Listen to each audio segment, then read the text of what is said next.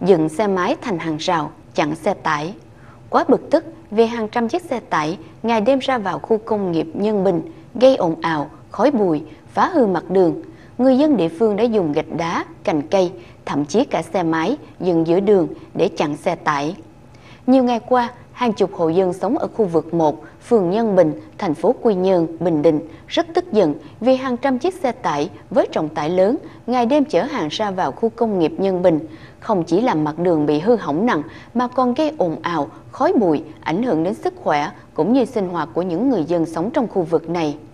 Để ngăn chặn đoàn xe tải ra vào khu công nghiệp, tại một số đường, người dân đã dùng gạch đá, cành cây để dựng hàng rào ngăn đường. Đặc biệt, có chỗ người dân đã đổ một đống xà bần ngay giữa đường. Nhiều hộ dân sống ven đường còn dựng xe máy ra giữa đường, kiên quyết không cho xe tải qua lại, khiến cho giao thông bị gián đoạn trong nhiều tiếng đồng hồ.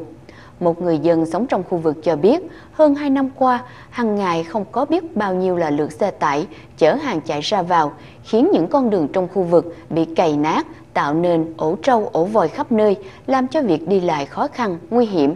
Đã vậy còn gây ồn ào, khói bụi, ảnh hưởng đến sức khỏe của người dân.